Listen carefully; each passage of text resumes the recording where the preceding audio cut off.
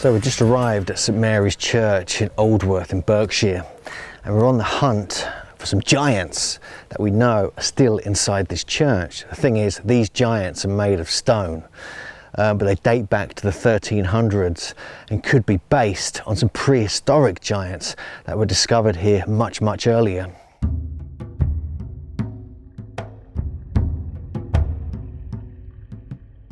So we're just outside the church of St Mary's uh, at a place called Aldworth in Berkshire, just on the Hampshire border really. And the reason we're here is because, as discussed, there were giant skeletons found very, very closely, actually on the land of the family who these statues are represent the De la Beche family, who were around in the 1300s to the 1400s, and uh, they were knights. They were kind of from Normandy, uh, and they came over. They were influential in the royal family and so forth. And this is the last remaining place where their mausoleum really um, uh, shows who they were. But the thing is, some of them were over seven feet tall. Now this is really intriguing to me because we have in the 1300s then in this area supposedly seven foot tall people living here and very close to here of a similar height, some giant skeletons and bones were found actually on the same piece of land, just within half a mile or a mile of here. And I'm wondering, you know, did the De La Beche family, were they actually influenced by the earlier discoveries, and we know it, wasn't one of them family members that was discovered because um, a spearhead, a prehistoric spearhead, was found in the back of one of the skeletons. And so we know there's no connection, but did that influence the De La Beche family? And then later, um, now even today this is happening. In Aldworth there's a big parade of a giant, of a giant called John Everafraid. And the thing is, there used to be an effigy of someone called John, potentially John Everafraid, actually here in this church. And he was buried in the wall of the church, actually in the foundations. Now the reason being is because he made a pact with the devil to get earthly riches and to become well known and so on and so forth. And if, but if he was buried um, in a church or outside a church, he would go to hell. But they buried him in the wall, so he was in between. Uh, this story echoes in different parts of the country, obviously, but um, I find that really intriguing. That, that statue has completely disappeared, but the other ones in here are on display, and one of them is seven foot two tall. So let's go in and have a look, and then we'll try and find the location of where John Everafraid was potentially uh, buried, well, at least his statue was buried. So, this is Aldworth Church, and immediately you can see some of the giant statues that are on display here. Here's one example. Some of them have the head missing. I think the head's missing completely off this one. You can see that at that end. This is John de la Beche, who died in 1340. There's a dog at his feet. This is Lady Joan, who was the wife of Sir Philip, and he was the giant. We'll have a look at him in a moment. And got angels around her head, as you can see there. This is the third effigy, Philip de la Beche. This is the second son of Sir Philip the giant, uh, also called uh, Philip, of course. And uh, you can see the visor and the, um, the helmet because he was a knight and he was actually the sheriff of Berkshire at Oxford, Oxon in 1332 to 1333. Two more examples here a lady and a gentleman.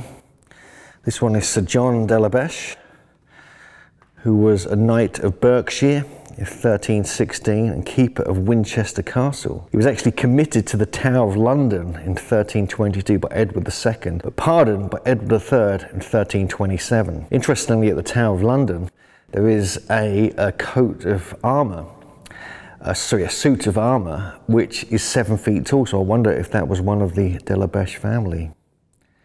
So we're just going into the main part of the church here. Now, this is the one we really want to look at. This is Sir Philip de la Beche son of Sir John, um, who received the lands from his father. He was the sheriff of Berkshire and Oxon, 1313 to 14, and you can see um, that he was even jailed as a rebel, which is kind of cool. But this guy was seven foot tall, it says on the side, but he was actually seven foot two apparently. And you can see just down by his feet there, that is actually a dwarf which was put there to make him look even bigger. So I find that particularly intriguing and quite funny, actually, um, that that would, um, you know, you'd represent it. But he's lying on his side, his legs are all crossed over, and you can see he's still wearing his suit of armor. But this guy was seven foot two, according to um, uh, the reports. And you can see the way his legs are folded. It's a very large body. And there's his head up there, and we have a couple of more effigies just over there. One of nine giants carved in Oolitic limestone in the 1300s here in Aldworth Church, which is now dedicated to St Mary's. This whole area is quite an interesting area with just a half a mile north of the Grim's Ditch, which is this massive linear earthwork which potentially is Bronze Age or Iron Age. There's some hill forts not too far from here. Uh, Hill Fort is a couple of miles away, and there's another one in the area we're going to try and find and have a look at. And I'm just absolutely fascinated by this place. It's, there's no one else here today. There's good light in here, so we're getting some nice shots. And we have effigies of giants. So this just absolutely blows me away. So just want to thank you, Sir Philip proving the existence of giants, even though you're only made of stone. This is an effigy of Sir John de la Beche, and he was the son of Sir Robert. And um, his feet has a lion resting on it. And this is interesting because he was over six foot. He was like six foot two or six foot four. So we have another relative giant here in the church of St Mary Aldworth. This is Sir Robert de la Beche, who was knighted by Edward I in, seven, in 1278. And he has armour, and this is one of the, this is really number one of the nine effigies according to the guide. And it was carved between 1300 and 1350. You can just see them all over the church here. Now they were destroyed at the time of Cromwell and so many of them have been quite badly damaged. You can see the arms are chopped off, the legs are chopped off, and so forth. This is Sir Nicholas de la Beche. Sir Nicholas de la Beche, and you can actually see his face. He's kind of praying, and he's been placed right in the centre of the church, whereas the others are all around the edge. But yeah, anyway, that this is like the final one, apart, of course, from John Ever-Afraid. So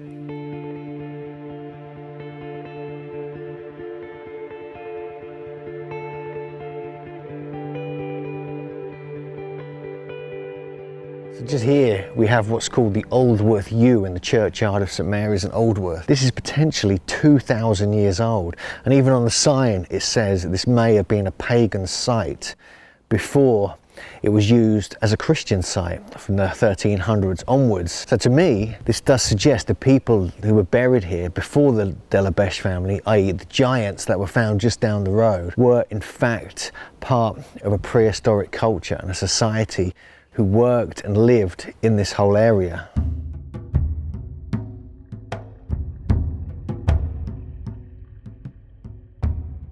So just outside the main entrance to the church, just to the right, and you can see here, this is probably the alcove where the 10th giant statue of John Ever-Afraid or different names given to him were buried.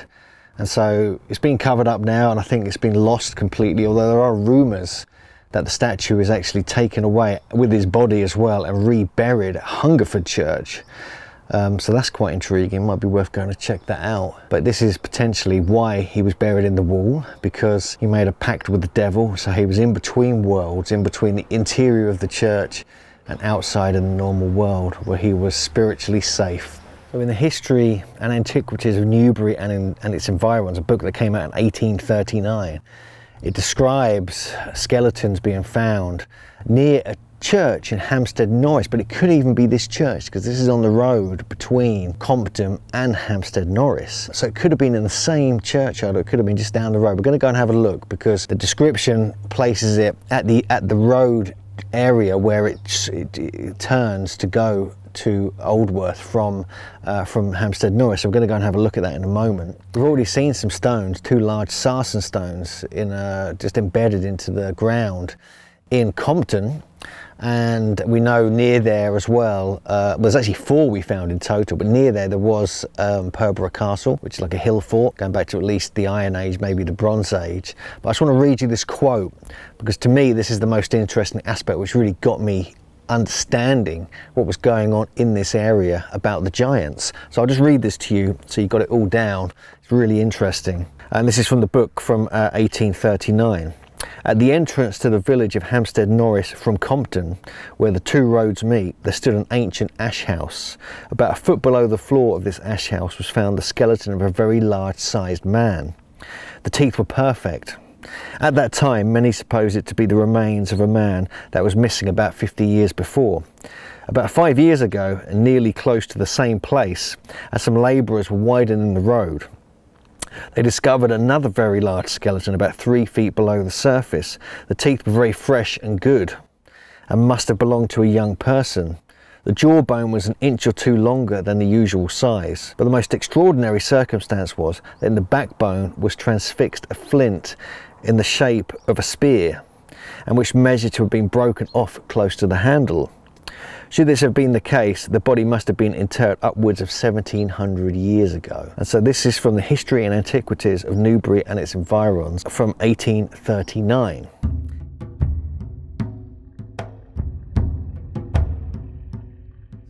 The De la Beche family who built this church and put the stone effigies inside it were actually the discoverers of um, what you know of the bones that were found uh, on their land, or it could have been found by someone else and they told them about it. And I believe this is what influenced the whole De La Beche family to present themselves as giants. It kind of fit with the legend. And there was already a story going around of John Everafraid, who was supposed to be a giant in the area. Um, and so, you know, what came first here? Did the De La Beche family, did they kind of, you know, create the story first? Because the report only came out in the, you know, 1800s.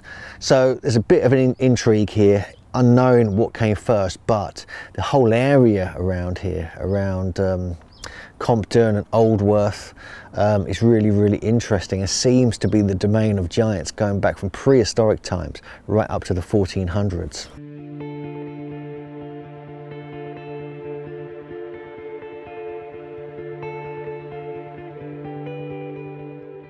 So I've now made my way to Hampstead Norreys. This is the actual village where the giants were supposed to have been discovered. That were reported in 1839 but probably found much earlier. Two were discovered. Interestingly, in the woods just south of Hampstead Norreys, if you walk through the churchyard and continue out the back, there's a huge mound. That mound is behind me now. Uh, can't really tell. They think it's a Norman motte and bailey because it's got a ditch, a huge ditch around it.